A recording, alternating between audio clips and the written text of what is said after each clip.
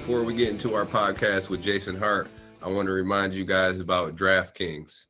The 2021 basketball season is here. The teams around the league took the offseason to retool and revamp and are ready to hit the court. DraftKings Sportsbook, America's top rated sportsbook app, has rolled out another one of their can't miss offers. Trying DraftKings Sportsbooks is easy, so what are you waiting for? Get in on all of the action now. To celebrate the return of basketball, DraftKings Sportsbooks is giving new players 100 to 1 odds on any featured matchup this week. That's right. All you have to do is bet $1 on any featured matchup this week. And if your team wins, you cash a crisp $100.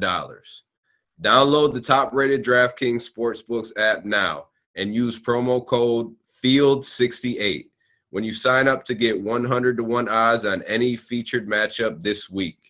That's code FIELD68 for new players to get a shot at $100 on any featured matchup this week for a limited time only at DraftKings Sportsbooks. Must be 21 or older, New Jersey, Indiana, or Pennsylvania only. Restrictions apply. See DraftKings.com slash sportsbooks for detail. Gambling problem? Call 1-800-GAMBLER or in Indiana, 1-800-9-WITH-IT. Now let's get to our conversation with Jay Hart. What's going on, everyone? This is Eric Devendorf, your host of the Scorer's Table podcast. Today we got another Orange legend on from LA, 10-year NBA career, Syracuse All-Century team, schools leader in steals, up there in points and assists. Uh, the one and only Jason Hart, Coach Jason Hart, because he I'm gonna call you Coach. I, well, I can get away with calling him Jay Hart, but that's yeah. me. But everybody else, Coach Jason Hart. What's going on, Jay? Hey man, ain't nothing, man. Just uh, uh appreciate you bringing me on, man. And I want to tell you, uh, proud of all the work you're doing in, in uh, Central New York area, man. And for you bringing us on just to kind of um, talk Syracuse basketball former players, man. It's an honor for me, for sure, bro, for sure. Oh man, I appreciate you, man. That means a lot. It, has been cool, like uh, you know, kind of talking to guys and sharing like stories off the court. like a lot of fans wouldn't know about these stories that we sharing, you know, inside the locker room and everything like that. So no, it, has been cool, man. But uh, let's start. You being from LA, man. What brought you all the way out to the Cuse, man? You you you supposed to be at UCLA or or USC? You know, especially back then, UCLA. What what brought you all the way to, to uh, Central New York? So um, I was I wasn't I was a late bloomer nationally, not locally. So I, you know, going from my junior to my senior year, I got invited to the ABCD Adidas camp, uh, okay. Sunday Girls camp, and um, I had a good camp. That was my first time me being on the national and Hop was there, me, and um, once they offered me a scholarship, I took it. I, it wasn't like a like let me wait and see. I said I'm going. So um, although I did want to go to UCLA, a friend of mine had already committed when we was a sophomores, and so I could that was out. And then USC hadn't reached that level of consistency yet, and I, Syracuse was a no-brainer. You know, I had some other schools, but you know, Syracuse was a no-brainer. Lazarus Sims was leaving as a starting point guard, and Coach Boeheim said I can I can get the ball as a freshman. So I said, hey, let's do it. So I mean, I mean, you knew about the weather change. You knew about you know going from sunny LA 75 every day to man, you coming to four feet of snow. You know what I mean? Negative, negative, negative degree weather. So that didn't have any impact on your choice coming to Cuse. Like you just, it was straight. It was straight ball. Well, you know, on my official visit, man, that was my first time ever seeing snow. You know what I mean? So that that was my first time ever seeing snow. It was just an opportunity to play, man. I'd always been watching the Big East on big, uh, big Mondays, big Mondays, and watching Allen Iverson, and, you know, John Wallace, and all these guys, Kerry Kittles in the Big East. And I said, damn, I, I want to do something like that. And when the opportunity afforded itself, I came. And then Boeheim always told me, because I asked him about the, how cold it was. He was like, well, we keep the dome at 72. So I was like, well, there it is. The dome's at 72. That's my weather that's my weather on every day in LA. So I'm in the dome. So I, I, I, ran with that. And you know, the dome was always feeling good, you know, firsthand. So that's what it was. Yeah, already. So how much did Hop have an influence? I just know because I know how crazy Hop is, like as far as his energy and and especially like when he's recruiting. I've seen him. I've seen how you know his style is like. Was he like that recruiting you when when you're you know coming to Cuse? So you got to think when I was um in '95, Hop wasn't he wasn't on staff just yet in the summertime. He got put on staff That's maybe it, that right. fall of '95. So right. I haven't known him prior to because he and I played for the same AAU coach. Okay. So when Hop actually seen me, Boeheim and them hadn't seen me yet. He probably told them about him because he was just at the camp working the camp as trying to get in, trying to break into the business. Right. So um, the recruiting, uh, it was Hop, but it really was Bernie. And so um, Big Burn. Yeah, Burn, legendary Burn. I built a relationship with Bernie. I already knew Hop, and so uh, that's how that happened. But yeah, Hop energy was crazy in real life. It wasn't really over the phone for me and him. It was in real life. Yeah. That okay. So I okay. So Hop was just getting there for real. Just yeah, Like was- that was your guy though. When you got there, that was your guy. Yep, and he told he told he must have told them about me prior to him even joining the staff. So that's how that introductory even even uh, came about. Remember back then, it was only two assistant coaches that was allowed to recruit, and right. he and when he did get on, he wasn't allowed to go on the road to call recruits just yet. Right. So when you when you did get the Cuse, what was kind of like in your mind like like the stamp, like the stamp of approval, like what moment, practice game, off the court, whatever it is, to where it was like, all right, yeah, I made the right decision. I'm you know what I mean, I'm glad I'm glad I came to Cuse. Man, I think it was that first time. You know, when you get there as a freshman, you got to play pickup, and you Right. you know you was an older older guy, and when that young freshman came in, you, you had to give him work to let him know what it was. It was just that me coming in playing with uh, Otis Hill, who was a senior, Jason Cipolla, Ty Burgan was a junior. Um, I think I had a good day that day, and then I, I just felt like I belonged. And you know when you play good, so I felt like I belonged, and it wasn't no looking back from that moment on. So you get to Cuse, you you stamp you, you got your stamp of approval, you know what I'm saying, in your mind, like you held it down. Cause like you said, in those beginning pickups, that's where you get that respect. You know what I'm saying? Going in what what was your first because coach really I, I mean, I don't know how he was back then for real, but he would peek in here and there. He but he ain't sitting down the whole time. What was like what was your first experience with coach? Um and what was that like? Man, you know what? My first experience with coach was, you know, we all have it. Uh, it, it was it was cool though. But you know what's crazy, man? I ain't gonna lie. I didn't have. It wasn't another scholarship point guard on our roster. So Uh-huh. you got when I came in from day one, Eric, the ball was in my hand. So it was a mistake. I was able to play through mistakes. Um, I was more like the baby of the team. I was a freshman, and everybody else was older classmen. So he kind of, I was kind of coached um, with like hands off, not too much of that screaming stuff. Seeing a lot of my teammates go through that, but I was more like the baby. And as I grew, and our relationship grew, but it was like the ball in your hand from day one. So my confidence was super high, and um, I hadn't even had the ball in my hand from, from high school. So that was that was new for me, man, and it was cool though. You know, he he, he went along slow with me as far as my my learning curve, but uh, my experiences with Coach Bay has always been straight. I ain't never had no incidents in terms of uh, negative. It's always been good. So, like like you said, you were the only at the time, the only scholarship point guard on the team. So he kind of he, he he had to he might have had to coach you a little bit different, right? Because he he can't lose you. You know what I mean? If he look mentally, right? Yep, and that and that's what it was though. You know what I mean? I, I was uh he brought me along like that, gave me the ball. Uh, first game uh, at, at Syracuse was uh let's see November '96 at the Great Alaska Shootout, playing the uh, defending national champions Kentucky. They pressed the hell out of me. Um, all my veteran guys ran. I tried to break the press, I had seven turnovers, and so that was my that was my introduction to Syracuse basketball right there, man. Getting pressed, trying to break it, but he allowed me to go through the mistakes, and uh, I was grateful for that. Who was on that Kentucky team? Because I know I, I think that was the year. So Ron Mercer and them they had already left then, right? No, so Ron Mercer, Antoine Walker, and Tony Delk left, and Okay. Walter McCarty. On that Kentucky team was Nazr Mohammed, Derek Anderson, Wayne Turner, Ron Ooh. Mercer. Burner Still had a Turner. Yeah, yeah, yeah, yeah. Wayne Turner's from Massachusetts, McDonald's All American. So they still had a really good team. Um, Jamaal Magloire was a freshman. Like, well, he and I came out together. So they still was. I think they was like number top five in the country. And um, you know, I think they went to the championship that year and lost to Arizona, or they was in the Final Four. So they had a really good team. But so your freshman year, you were the only you were the first freshman in Big East history to lead that conference in minutes as a freshman. Like, and you talked about you know your first game making some mistakes, but what what gave you the confidence? Because you played a lot of minutes, but you was you had you were successful in those minutes. So what gave you the confidence to to keep going even though when you made mistakes? Was it coach just letting you play through it, or what? What was that? Tell me about Yeah. more. I was I was a player, and I teach my own son this man. I never looked over at the bench when I made a mistake. You know what I mean? I like I had already got through that that that that that amazement phase of being coached by Coach Boeheim. Obviously, he, all the coach, all the players he and coach, but I never looked at the bench when I made a mistake. So I'm I'm hooping. I mean, you know, we was running two three zones, so that wasn't hard to figure that part out. Right. And then we wasn't running a whole bunch of plays. So it was kind of easier, easier adjustment. It wasn't a whole lot of thinking, man. We didn't have to worry about this, that, this, that. We didn't do no shoot around.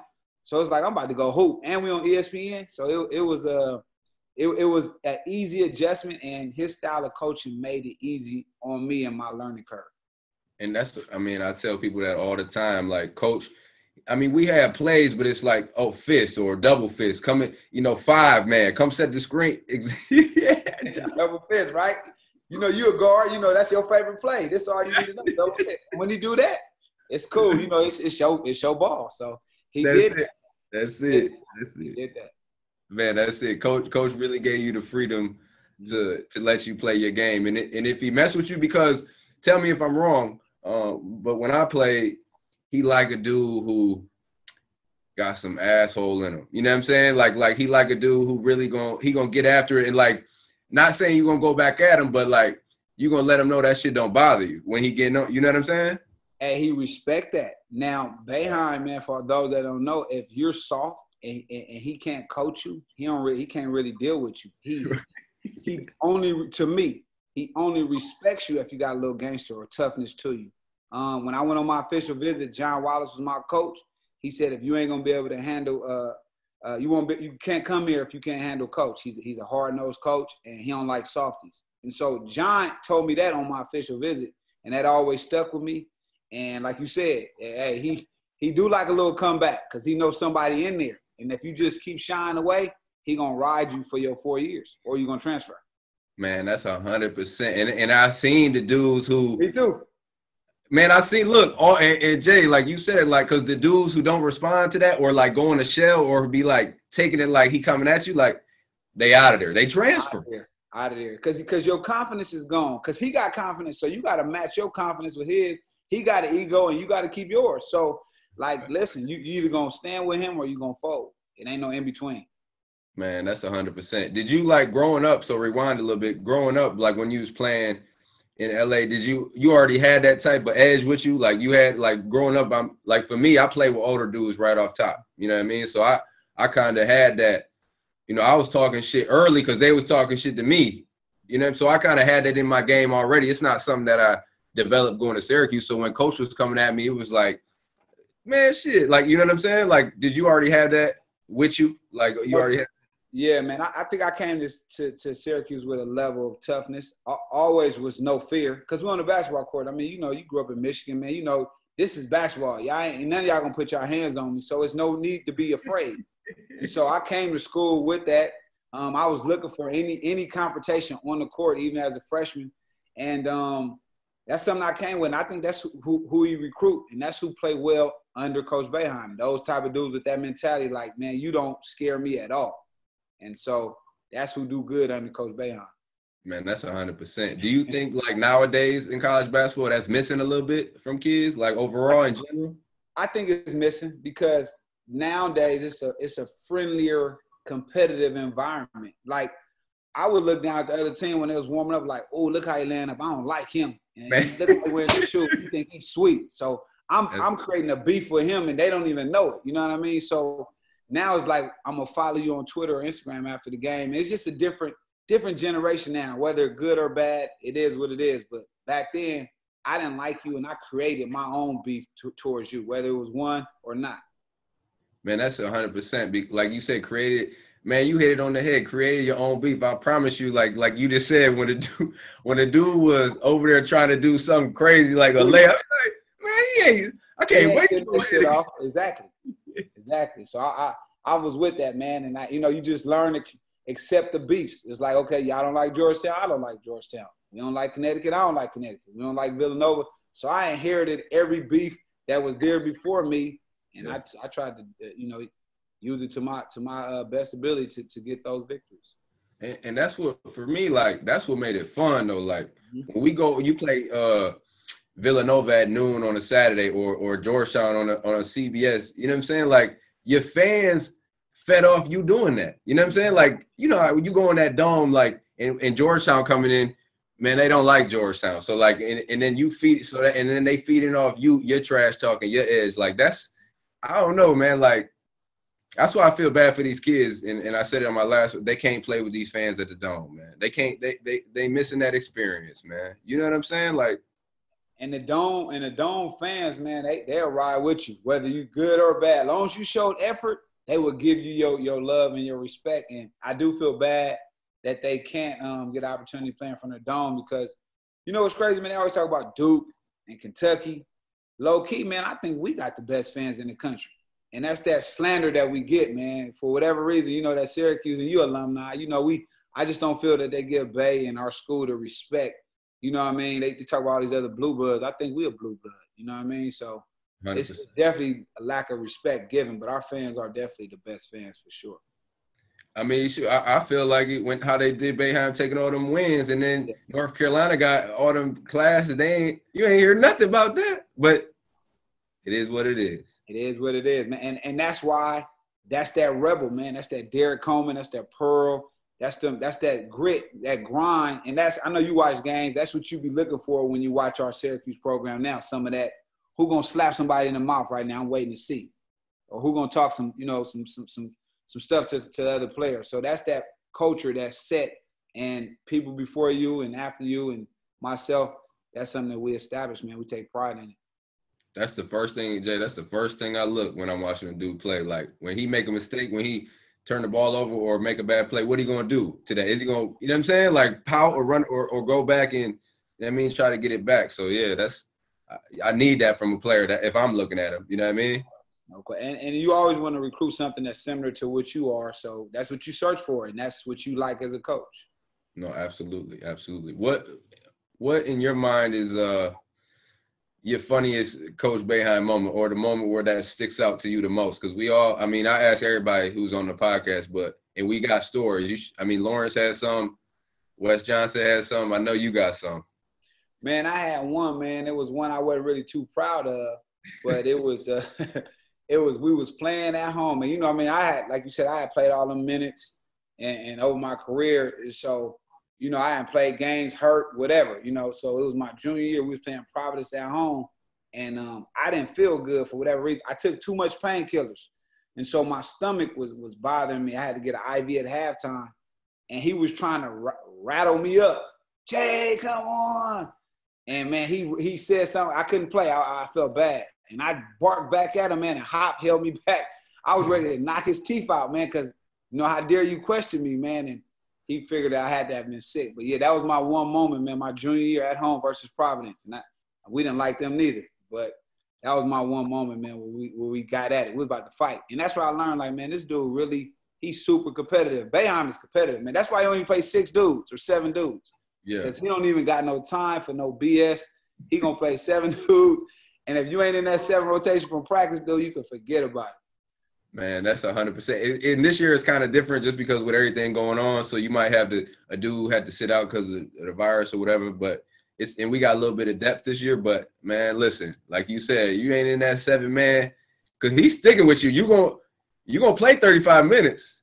Well, that's his thing as a coach. That's that's that's the beauty and what he do. He he giving instead of playing somebody two and three minutes, I'm gonna give Eric all them minutes so he can just stay confident and warmed up. Cause I'm only gonna play this dude two minutes, so I really wasting him even being out there. That's why the big games, everybody always gonna go 37, 37, 37, 30, because he don't have no time to warm nobody else up if it's a big game. So that's the beauty in him, and um, I'm rolling with it, man. I, I, I like how he do it. He, I mean, it, that's that trust factor too, right? Like he, he trusts like you gonna make a mistake. He trusts that you're gonna get that back he know he know he, he know what he got in you. So he don't got to worry about that mistake because he already know. You pass that little test with him where uh, turnover is nothing.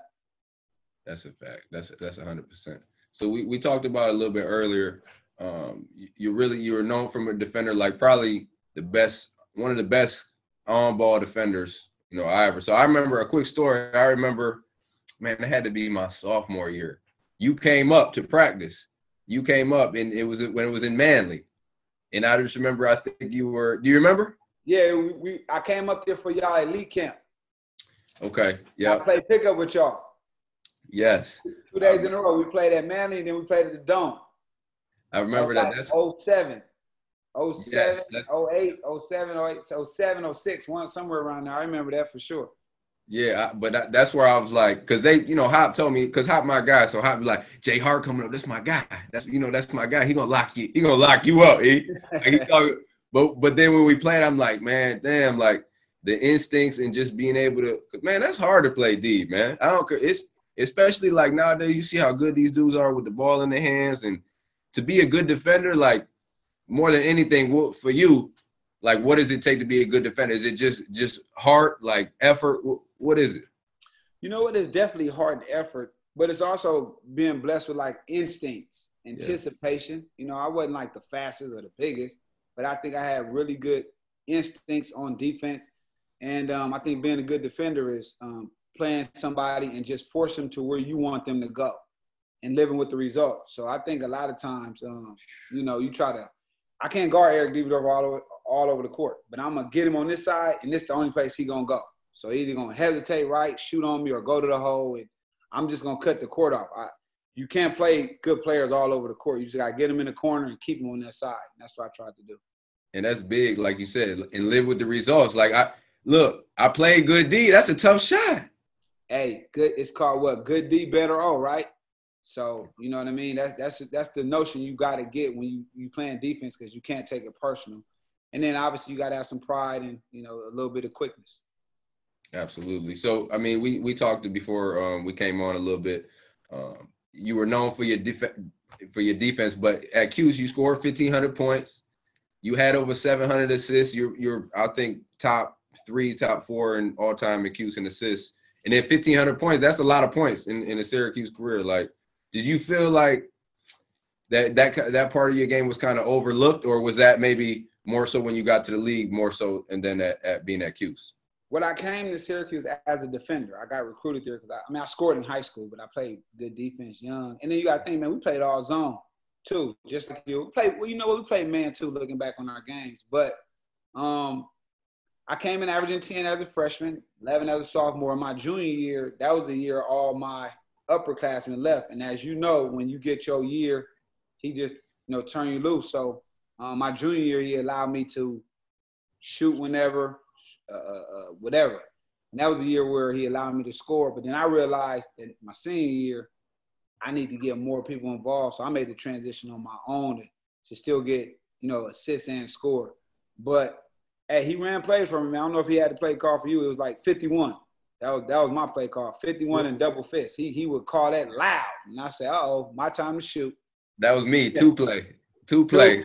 You go. You. That's when you go down and come off that curl and then go to work. That's it. So so mine was 51. I would come off a flare and then come off a floppy screen. So I either had the flare. If I didn't have a flare, I would go down to the box and come off the floppy. So yours was two curl. Mine was flare, come off. And and when Bay give you the green, you, your confidence is sky high, man. So you already know, you know how, how, it is. And I watched you in college, so I already know what what the freedom he gives his players.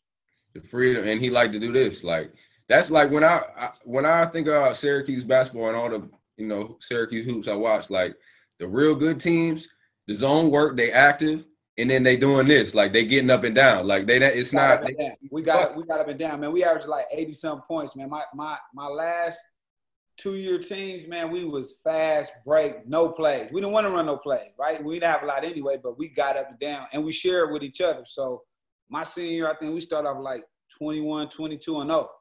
And that was that team, um, you know, where we should have won championship. We lost to uh, Michigan State in Sweet 16. But Auburn Hills. yeah, Auburn Hills, exactly at the Palace. Yep. But we would get up and down, and, and that's what he wanted. That's what the program was built on with Pearl, Sherman Douglas, live. That's where I got. I learned. I watched all those guys throw live. So that's where the program was built on that that style of play. And his better teams always push in, in transition. So let like let's talk about that game a little bit more. Tell me about that game versus Michigan State because that was a Sweet 16, Auburn Hills. So Michigan State had the crowd, but they ended up they won it that year. They did. They With, did. that was with Mo Cleaves, Mo Pete, uh, Andre Yeah. Hutson. Charlie Bell, Andre Hutson, Jason Yep. Richard was a freshman. Man, you know what? We up 18 at halftime or 17 at halftime, man. And they walked us down, man. They um they would just start making threes. Then the, the refs charged a change, and then we ended up losing by like plus 12. So that was like a 30, 35 point swing. But uh to me, man, it was uh it was one of them years where that was my better year of, of the four years team wide. And I just felt we would have played them anywhere but Auburn Hills, we could have got them. Right in right at, that was their home court. Yeah, that was their home court. And they obviously they have more fans because it was closer to them. So um, that's just an unfortunate situation. That's how it go. But three years later, we end up getting a chip. So you still got to ride for for Carmelo and his group.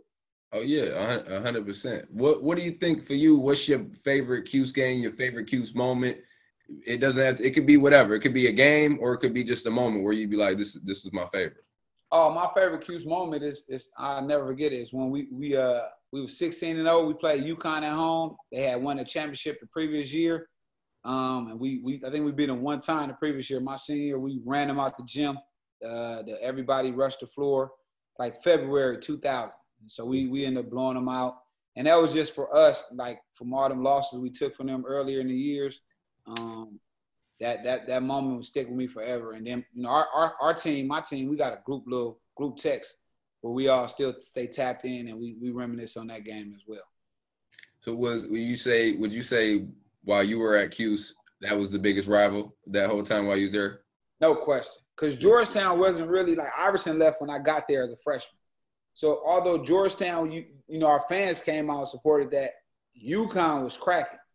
UConn won a chip in '99. UConn was, you know, they was it, it was turning up over there, and, and, so for me, my biggest rival in college is UConn by far. You know what I mean? I, I, I don't. That's one school that I don't like. Every time I see them on TV, man, I want them to lose. And uh, you know what I mean? Because you know, again, it was you know Jim Calhoun, super cocky coach, always had really good teams. They was always prepared to play physical. And so um, UConn was my rival, man. So anytime we could beat a UConn team, I, I, that was big for me. So the, I, I, get what you're saying. Like even still this day, when you see UConn, you like, nah, I, I need y'all to lose. Man, we played. So you know, I'm coaching now at SC. We played right. UConn three weeks ago in, in, at the Mohegan Sun, and I talked to Kevin Freeman, who was on the team. He's an assistant coach as well. And I was like, man, I still hate this. You know, I still hate y'all colors. I still hate, eh, you know, everything. He started laughing because we had some wars. And obviously we lost that game, man. But I do not like losing to UConn whatsoever, anything, man. So that, that was my, I can't stand it.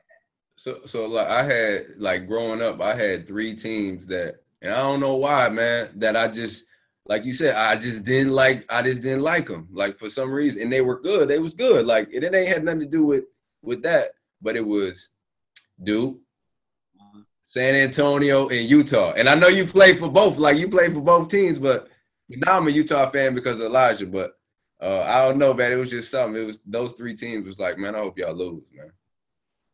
Man, I, I didn't like watching Duke because they always used to huddle at the free throw line. I was like, man, that shit, that's weak. Man, they always huddle in, five, five in, and picking you up. I, I feel you on the Duke one, man. I was like, man, look at them dudes tucking in and jersey tucked in. You know, we was more on some, you know, Syracuse used to recruit them them hard nosed roughnecks, and that's yeah. that's what I like, man. But I'm with you with the Duke.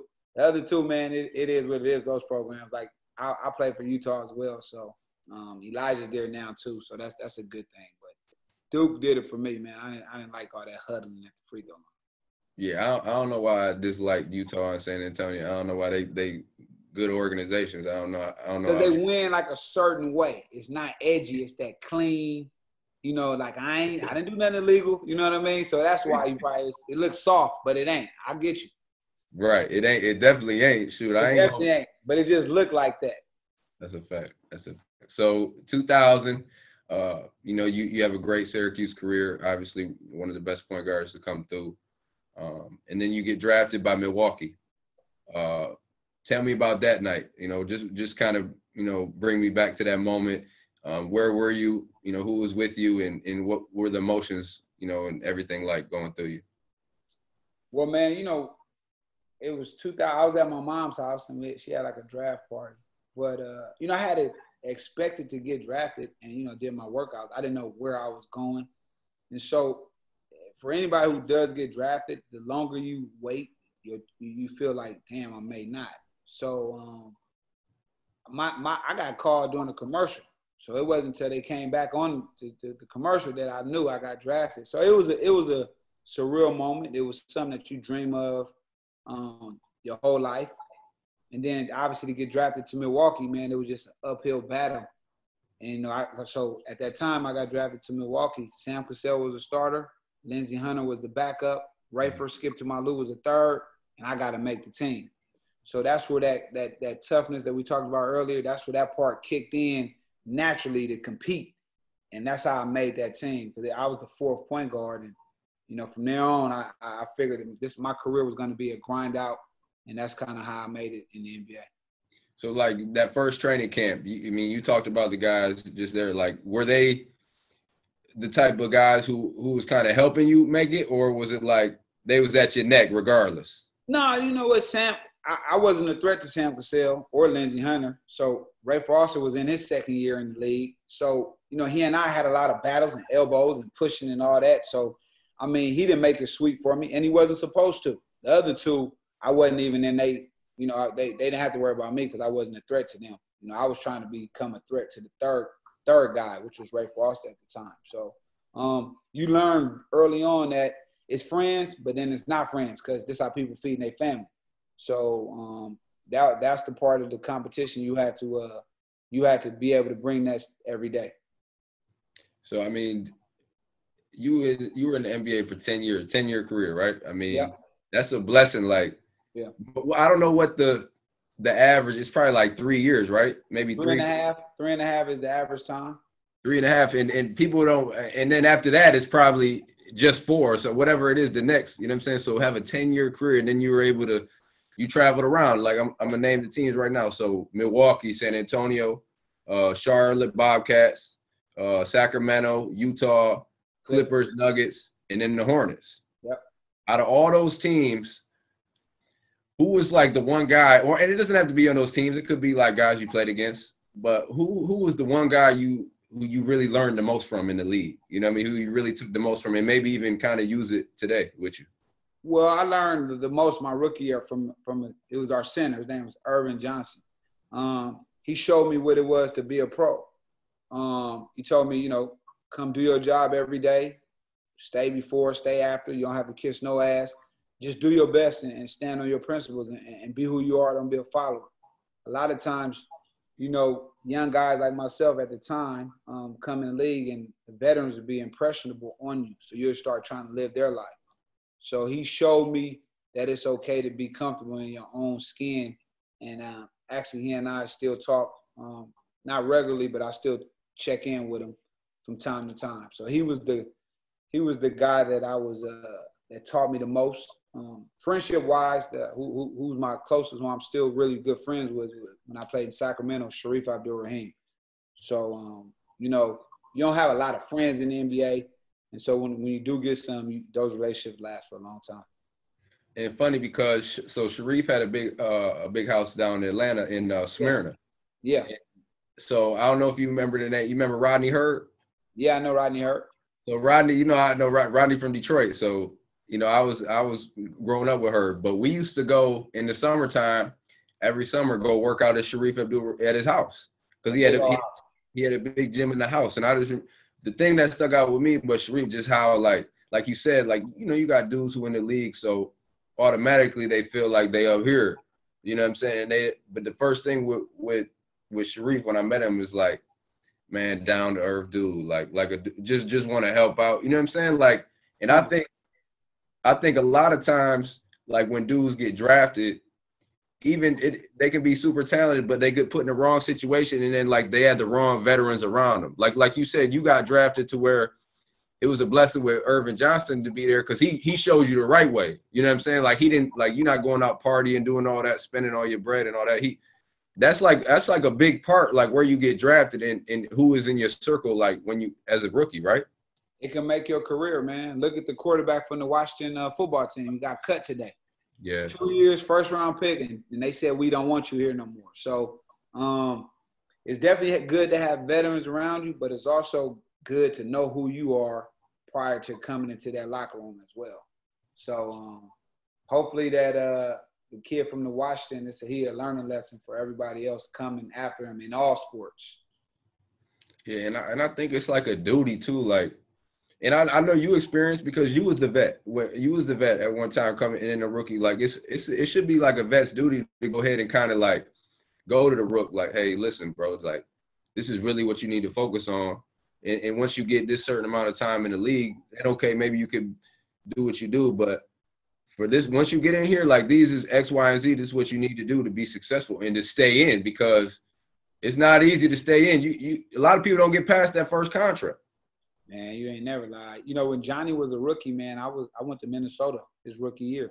I remember yeah, that. Yeah, he had a great year too as a rookie year. Um, uh, and um, it was a learning curve for him because you got to think he was used to coming from Boeheim, and then we get Kurt Rambis was trying to run the run the triangle, and it was opposite of what he was good at. You know what I mean? Didn't make no sense for him, and so he was trying to figure it out. But yeah, man, it's a it could be tough if whoever you get drafted to it. If, if it's not a good fit, it won't work. Yeah, because Jonny was one of the most talented dudes I ever played with. You know what I'm with saying? The like ball, he, with the ball in his hand. So you got to think he went from playing ball in his hand to get drafted high to playing triangle. Same office as Derek Fisher, and that's not hit. That wasn't his game. Right. He he he. Derek Fisher cutting through, spotting up, getting it off the kick out or something like that. Jonny creator, pick and roll, double fist, like me and you said, thumb up, pick and roll. So that that wasn't a good fit for him. But you know, him as a rookie going through that, watch him learn. Uh, he, he did the best that he could in that situation. Yeah, and he still made all rookie, I believe, all rookie team. Jonny Flynn was cold. Jonny Flynn was cold, Jay, for real. cold, man. Yep. What what do you what what would you say your your favorite moment in the league was? Eh, again, same thing I asked you about the Cuse. It could be a game, practice. What was kind of the, that moment where you'd be like, "Damn, this is cool." Man, it was my maybe fourth year in the league. I was playing for the Charlotte Bobcats. Who was playing um playing the Washington Wizards in Charlotte. Man, I had like 19 points in the fourth quarter.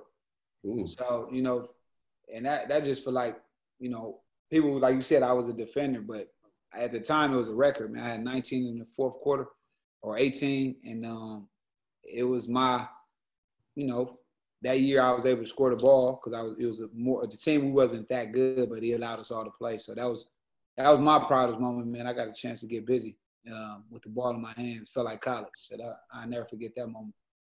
It, and it's crazy because man, it's so many like everybody in the league talented, right? And No and, doubt.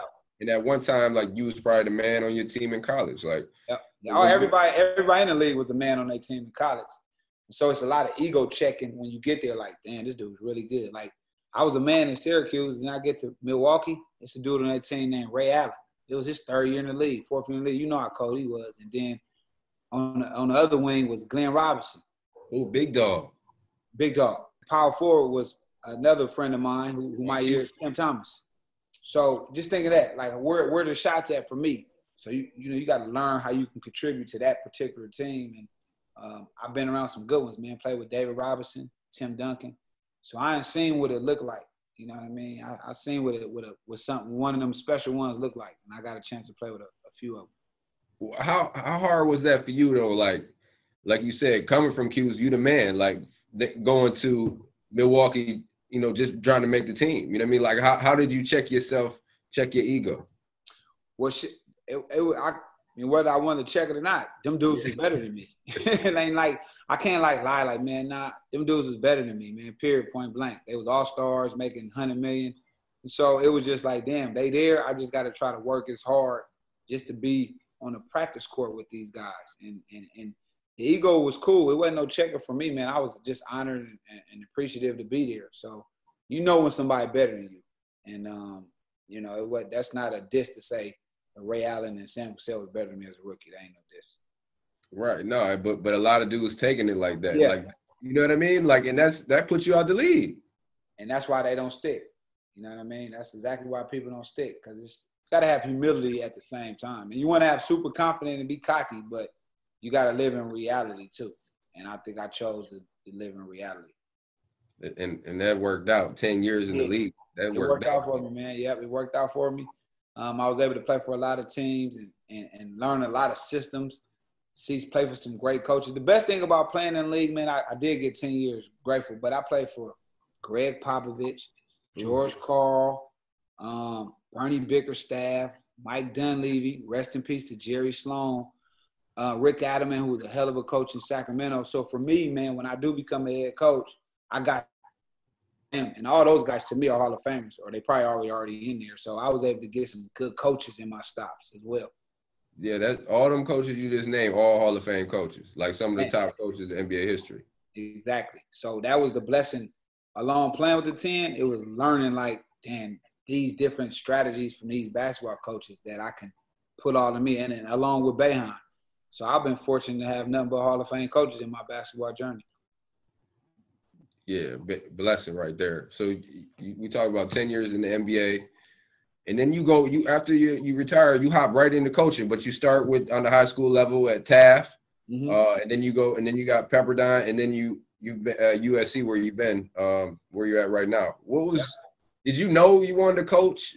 I mean, what was that transition like for you going from playing to coaching? Because now like for me, like when I like when I teach, it's it's harder. Like people don't understand because when you a coach, like you know what you're talking about, but you got to explain it to this dude who doesn't. Mm-hmm. You, you, know what I'm talking about? So how was that for you, transitioning from playing to coaching? Man, you know what? It was it was a good transition because when I stopped playing and hopped into coaching, I didn't know my surroundings. It was it was back where I was from, but I didn't know the AAU world.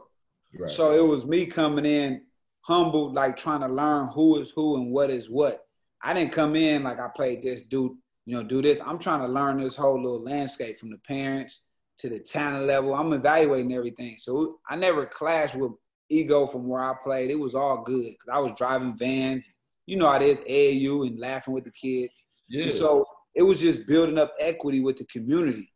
And I knew if I wanted to be a college coach, I had to know all these parents. I had to know all these AAU coaches so I can be needed. You can't be no college coach if you ain't needed you don't know nobody. Like I can know everything how to teach you run a pick and roll or this that, but if I don't know the people where the players is coming from, that won't do you no good. So that part, that two year part of me, um, before I even got on, I did that for two years, and I was able to learn the landscape and, and build up the relationship. So when I did get the job, it was getting players wasn't hard. So that was the that was the fun part. That two years where I was out in the streets meeting and, and, and figuring this whole thing out. So that's so it sounds like you already this is what you wanted to do when you. Oh yeah, oh yeah, definitely. I want I didn't want to coach in the NBA because I was already, you know, that's 82 games, and then you know you you've been away from your family a lot. So no, I knew college was was where I wanted to be at. Um, it's like working back at it, and, and you're in education, you're in the school. So um, it's a level of respect you got to have when you're working on the school campus um, certain do's and don'ts, just like any other school. And that's a place where you could touch the kids before they get out into their, their, their adult life. And that's where I want to be. It's, it's satisfaction for me. Absolutely. Uh, giving back, giving back what you learned. Man, trying to and trying to see the next person's dreams come to come true like mine did. So that's the whole purpose of this whole thing right here. Man, that's that's you said it right there. That's the whole purpose, man. It it'd be selfish for all the basketball, like you just named all those coaches. Yeah. Coach Boeheim, Adelman, Jerry Sloan, Popovich, all the knowledge that you can gain, man, it'd be selfish for us not to be able to kind of share it and pass it on to the next, right?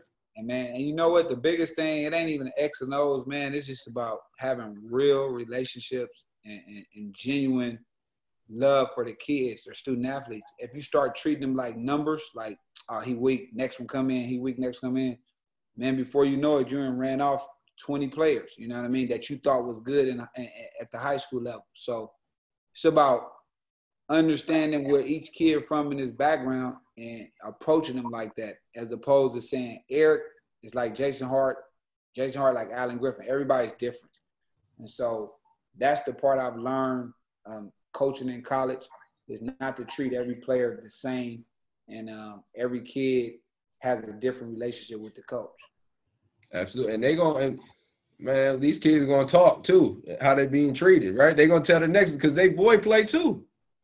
Man, you trying to recruit that kid? You you got him now. I'm trying to go back to the to the Warriors, right? Ain't that your program, Michigan Warriors? Michigan. Oh, Michigan Hurricanes. Hurricanes. I came and watched you play with Hop before at, at Cal State Dominguez, uh, 2004 or five. We, we was in LA. He came out here, and I was I went over and watched you play. So Hop had to do you right, so he can go back to your program. You know what I mean? So that's that's how that's relationships and recruiting. if I would have messed you over, Syracuse would have messed you over, nobody wouldn't want to follow your, your your footsteps. So it's about stand stand true to who you are and having some integrity. That's hundred percent. Uh, uh, that's rare nowadays. And you say it as smooth as that, but man, listen, that's rare. Very rare, because nowadays the kids want the success day one. Now I want you to have the success day one, but what if you're not ready? So is it my fault you're not ready? Because I just got you in September and we play in November. It's gonna take some time. So um, the kids are a little bit less patient, you know, because basketball is a global thing and everybody's a pro at 11 years old. You know, I get it, but uh, you just gotta have some patience with it.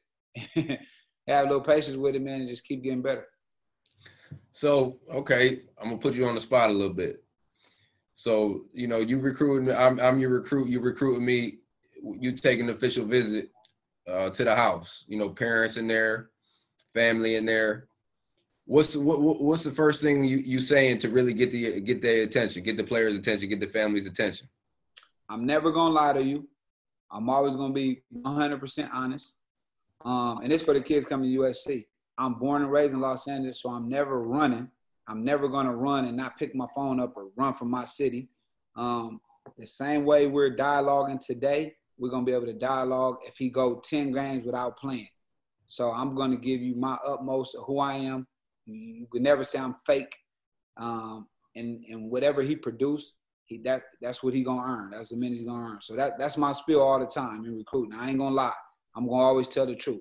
If he's playing good, he's playing good. If he's not, he's not. I'm always tell the truth. And I'm never gonna run from my phone. I'm not gonna not pick it up because I don't want to hear what you're gonna say. I'm gonna give you that respect that's that's that's big too. That's big, and and I think for me too, like.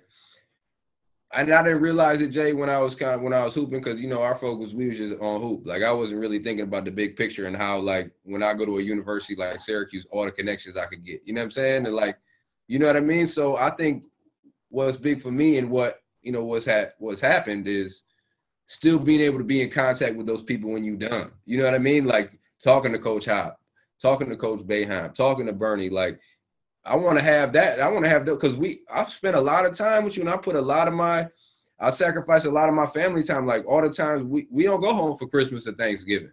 You know what I mean? And and you know, we we at your house. So like I still want to have those relationships after, you know what I mean? To I think that's big.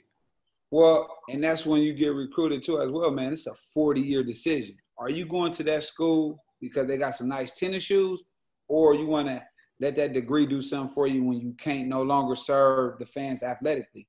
And that's this whole part about when you pick these schools, man. Make sure you're going somewhere where the education is valid. And then when you it's a 40 year decision, man. Like me and you lucky, man. Our coach still there. You that's know how great. many dudes go to other schools, they school and had like seven, eight coaches. You know what I'm saying? So if Bernie didn't that situation, he would still be there. So me and you lucky to where we still have our our, our head coach there to where if we come back, he gonna treat us with the same respect that he did when we played, and that's not normal. And so um, that's that's the beauty that, of, of me and you going to Syracuse.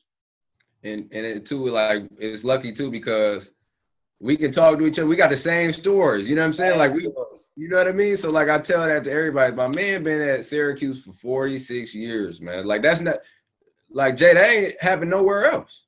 It probably would never happen again, man. Ain't no pro. Ain't no AD no president gonna let you coach for more than if it's Krzyzewski and Boeheim. But you you got four years, man. If you don't get it around in four years, we're gonna fire you. And then really three if you if you tripping. So yeah. Now Boeheim would never it'll never be another Boeheim man ever again. It don't even that don't even exist anymore. He he'll coach there until he's probably 80. Yeah, and we'll get to that in a second. hey, so describe these people slash players to me in a few words.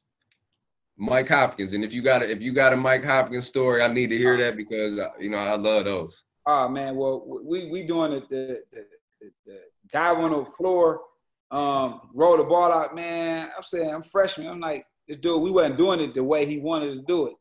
Man, this fool dove on the floor, sliding with his clothes on. I said, man, this dude really crazy. I thought he was playing, but it was really genuine energy, man. And Hop gave you that energy um, every day. I don't know how he did it because he gave it to a lot of people. And, you know, that normally can wear you down. You know, a hop will go silent on you too. So, yes. yes. Um, that energy that he was giving out was genuine, and that was just his passion, man. He only wanted us to get better. He didn't care about all that other bull. He was a coach that wanted you truly to get better, and he cared about you off the court. And coaches like Hot Bro are rare, rare, dude, rare. He he he really genuinely care for so you don't find that. Yeah, that rare. Like like I, we was just talking about. Still talk to him now. Like I know it's you still talk to him now. Like that's man. He, he had that effect on me, man. That I want to I want to keep that relationship. You know. Yeah, no doubt, no doubt. It's a fact. Etan Thomas. Etan Thomas. Let me see. Rony Seikaly. you hate doing the best and all that, but probably the best center out of Syracuse defensive. You look at his numbers; they're crazy. Mm-hmm. Um, he's a militant. He's always been confident in who he is as a person. Never wavered, never changed, and um, that's why we called him the big dog. You know what I mean? He he was who he was. He wasn't no follower. He was a true leader, and um, he he he was a uh, he, he was big dog to us. And, and, you can see that today with everything he's doing. Like he not like he not wavering. Like he no. he gonna keep it a hundred. A hundred, a thousand percent, and and that's how he was when he got to Syracuse. This ain't no front. This who he is. Yeah, I, I love that about Edo. I love that. That's a fact. And this, so this guy right here, man, he was like, I, I, went back and look at some some games. Like he was ultra talented, man. For me, I thought he would have played into like he was the type of guy like the league has right now. Who is it? Damone Brown. Ooh, man, slim. Hey, one of the one one of the smoothest uh, players from, from representing that uh, that Buffalo, uh, New York. Um, genuine dude, man. Uh, obviously, he played in the league. He got he got some years in the league, and he did well when he got his opportunity. Yeah. Um, just an archer, a forward that uh that that that that came along and did well. But you know what? He's a typical like I was a four year player. Boeheim be finding them four year guys like him to where and myself to where they you get you a lot of wins. You know what I mean? And he was he and I we went to school for three years together. I was a year older than him, just like Etan. Boeheim be finding them four year players, man, that stay and get you. Derrick Coleman did it too. Sherman Douglas, all of us. So he he he he was one of them players along with myself, man, to where you know he got us a lot of wins. You know, you know, uh, I don't know if there's much that much more that Coach Boeheim care about than winning. He loved oh, he win some games. He loyal to that, for real. So uh, if you ain't if you ain't loyal to that or trying to help him with that, he he deuces. You know, he loyal to winning first and foremost. he hey harsh with it. He ain't giving a damn. That's a hundred right there. That's a hundred. I'm gonna bring you back a little bit, make you think a little bit. Okay. Your favorite, your favorite spot back when you was in the Cuse in college that you go. It could be Marshall Street. I, you know, I had my spots. What's your favorite spot? Restaurant, whatever it is. Um, Cosmos, man. I would get up, man. It'd be like 10 degrees, man. I would go get me some food before before breakfast before class, man. So it was Cosmos on uh, what street is that? Marshall? Yes. Yeah, Cosmos on Marshall, man. I don't know if it's still there, man. They had the best pancakes and eggs. And then um Goldstein. Okay. On campus. So you keeping it on South? I, I lived on South my first year. And then I moved okay. off campus the last three. But those are my two spots where I frequent at all the time. And Cosmos had that breakfast. They gone now, but I was upset oh, about that. They gone. Wow, man. man. What was there? Man, Jay, they got a, a Verizon spot or something, man. Well, you know, everything got to get modernized, man. You know what I mean? They built like some little a building over there too by David Falk, right, right next to the, the hotel. So I stayed at the hotel right there on, for my official visit on campus. Yeah, yeah, they got it's a whole bunch of new stuff now. Like they coach got a something where it's old dorms built on Marshall Street and everything. Oh, okay, okay. Is the hotel still there? What's that hotel called? Oh, Sheraton. Sheraton. Yeah, that's where I stayed for my official visit. You probably stayed there too. Yeah, you know that's right there in the thick of it. Yeah. yeah that's right by Schine. You going? You walking right in the Schine. That's where you went pick. That's where I want to pick up my check at the Schine bookstore, another food spot. So, that's man, uh, Syracuse, man, it was the best four years of my life, and you probably could say the same too. It's, it, it, it, when you look back on like, damn, I was here and really lived here, but it was the best four years of my life, and that was led by the basketball because our runs was crazy. Crazy, man, hundred percent. That's a good segue to the next question. what what does the Syracuse fan base, the Syracuse community mean to you? Like what all the support mean? Like I still feel like I play. Yeah. You know what I'm saying? What does that what do they mean to you, man? It mean a lot, man, because they stamped you, they stamped me, and to me to get stamped by the fans is valid is enough validation for me because I know all the guys, all my brothers that came through before me were really good players. And so just to be stamped by them and got their approval was killer, man. Um, the fan base, the alumni, um, it was it's, it's, always been great love and like I said, I think we had the best fans um, in the country by far. Yeah, and, and it's crazy. It's still crazy to me too, Jay, because like I grew up watching you guys, like you, uh, Etan, uh, you know, DC, like DC from Detroit. So I remember uh Melo, like GMAC, and now like you my guys, like you know what I'm saying. So like for me, it's like it's like humbling, right? Because like these are all my basketball, my back, my role models. You know what I'm saying? That I really got to, and now it's like that's how Syracuse family is, though, right? Like it's like we talked about Coach being here for 46 years, but the relationships that we build, like I might like the first time I met DC, I never met him in my life. He act like I know, like he know me for 10 years. You know what I'm saying? Like that's that's that's what Syracuse family is. Well, and that's what DC know Boeheim when he brought you in. He knew you was a player, regardless. You was his little brother. When I got to Syracuse in '96, man, Pearl Washington guided me. Rest in peace. I was in a going. He picked me up, taking me to the Boys and Girls Club to speak to kids, um, doing community work. What you doing? So, and then with him passing not too long ago, man, that hurt me because he took me under my wing. Even when I was struggling, he was there, man, like a genuine. He didn't have to do none of that. He could have sat back and talked about me, whatever, man. So he really, you know, took me under his wing as a freshman, man. The, the legend Pearl, and that that was that was I'll never forget that man what he did for me. We talk about rare people, man. He was rare, man. Like just like, hey, man, he was genuine as they come, like one of the nicest dudes, man. Pearl Washington, man. That's why he was loved, and like he the reason to me. He set he set it off. He was like Boeheim probably got in what four or five years later of his coaching career, but he set it off. Period he set it off. He the one made probably why you went there because you watched somebody else, and same with me. He set it off first and foremost. He said he was doing stuff with the ball that they weren't doing that type stuff back then. He was really like they first under Boeheim, big time recruit. Yeah, had had some other pros prior to, you know what I mean? But Pearl Washington is the one made it like, you know what? Syracuse is cracking. So he kind of was the innovator to me in, in, in the Boeheim era. No, that's a fact. So I, I think about this too, and what's going to happen when Coach retire, man? Because for me, selfishly, I wanted to be I wanted to be kept in the family. You know what I'm saying? That's just me selfishly, and that's probably because I want to still go up to the Melo and do all that. But which I mean, what you think's gonna happen, man? Uh, I think uh, when he do retire, I think Hop and Lee Washington go back. He's getting good practice right now um, at Washington, doing a good job.